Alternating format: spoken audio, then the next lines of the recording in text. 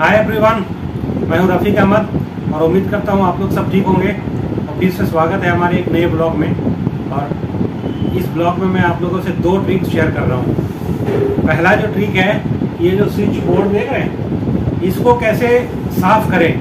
क्या होता है कि बार बार हमारे हाथ से बार बार जो स्विच हम यूज़ करते हैं सबसे ज़्यादा, वो बहुत गंदी हो जाती है। तो उसको कैसे साफ़ करें? एक वो ट्रिक शेयर करने वाला हूँ और दूसरा ट्रिक्स मैं आप लोगों से शेयर करने वाला हूँ। कि जब सिलेंडर पे गैस कितना बचा हुआ है, एकदम से क्या होता है कि सिलेंडर खत्म हो जाता है तो हमें पता नहीं चलता कब खत्म होना है। तो वो ट्रिक्स हम आप लोगों को शेयर करने वाले हैं कि अभी आपके सिलेंडर में कितना गैस बचा हुआ है। तो ये दोनों ट्रिक्स आप लोगों को इस वीडियो में शेयर करने वाला हूँ। तो जो नए हैं हमारे चैनल पे, उनसे रिक्वेस्ट है कि चैनल को सब्सक्राइब कर दें और बेल आइकन को प्रेस कर दें। तो आइए चलते हैं। सबसे पहले, पहला ट्रिक्स आप लोगों से शेयर कर रहा हूँ कि अपने स्विच को कैसे साफ़ करें। उसके लिए मैं तीन चीज़ ले रहा हूँ। पहला, ये देखिए, ये नेल पॉलिश और दूसरा, ये सिंपल कॉलगेट और तीसरा, ये कॉटन बस यही तीन चीज़, वैसे तो ये दो चीज़ में साफ़ हो जाएगा, लेकिन क्या होता है कि बहुत ही ज़्यादा गंदा होता है, तब जाके ये कॉलगेट भी इस्तेमाल करते हैं, उस जिद्दी दाग को हटाने के लिए। तो फ़िलहाल मैं ये तीन चीज़ों से अपनी स्विच बोर्ड को इलेक्ट्रिक बोर्ड को साफ़ करने वाला हूँ। और बिल्कुल शीशे की तरह चमकाने वाला हूँ। तो हमारे साथ बने रहे और आइए चलते हैं। सफ़ाई अभियान में जुड़ते हैं और आप लोगों को दिखाते हैं कैसे साफ़ होती है। सबसे पहले ये नैल नैल पॉलिश रिमूवर को इस कॉटन पे लगाएँगे अच्छी तरह। पूरा ये बिक गया। और फिर जो है, थोड़ा सा इस पेस्ट को ऐसे कर दिया। ठीक है बस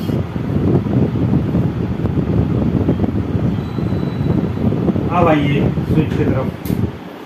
पहले तो ये है, वैसे हमारा ज़्यादा गंदा नहीं होता है, क्योंकि मैं रेगुलर बेसिस पे साफ़ करता रहता हूँ। अब क्या है हल्के हल्के इस पे लगाना शुरू कर दें सबसे पहले ऊपर के हिस्से में। अच्छा इस चीज़ को थोड़ा सा ध्यान पे रख के करना है, क्योंकि ये इलेक्ट्रिक बोर्ड है, बहुत ज़्यादा इसमें लिक्विड अगर हो तो थोड़ा सा वाइट कॉटन और बढ़ा लें।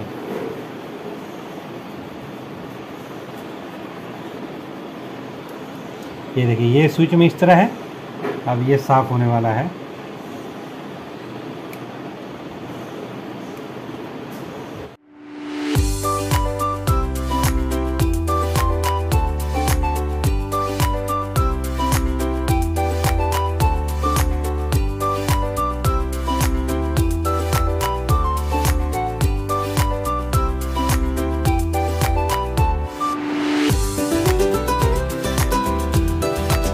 अब ये देखिए इसको भी साफ़ करने वाला हूँ। ये भी गंदा है।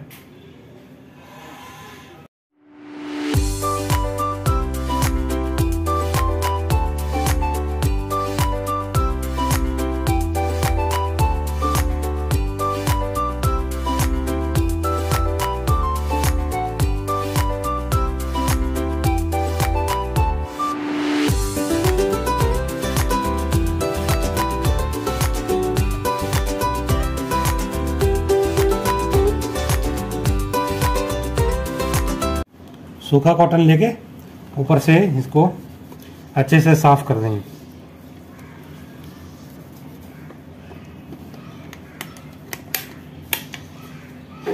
ये देखिए, पूरी चमक हो गई। इतनी चमक गई कि सारे साफ़ हो गए। देखिए, यहाँ जो था, ये सारे साफ़ हो गए।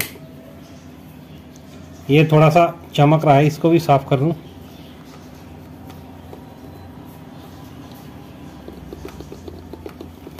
ये देखिए, ये भी ये भी साफ़ हो गया पूरी अच्छी तरह से।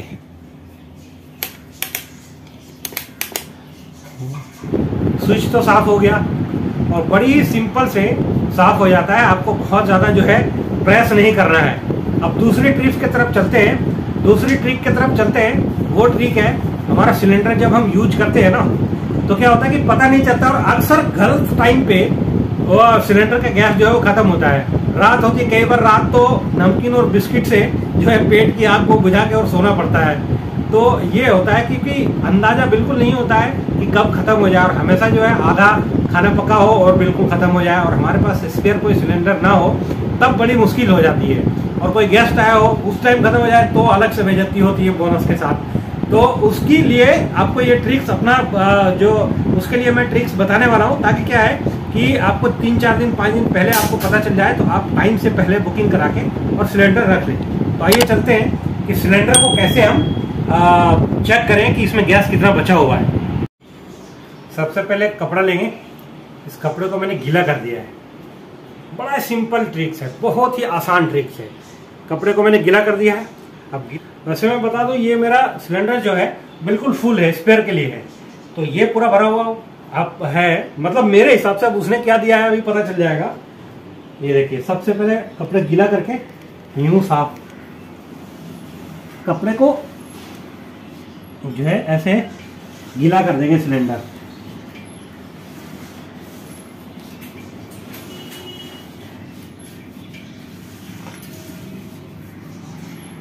और थोड़ी देर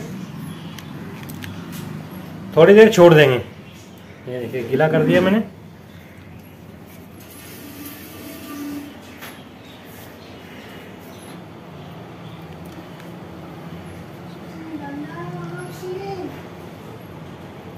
जहाँ सिलेंडर जहाँ तक खाली होगा, वहाँ तक ये सूखना शुरू हो जाएगा।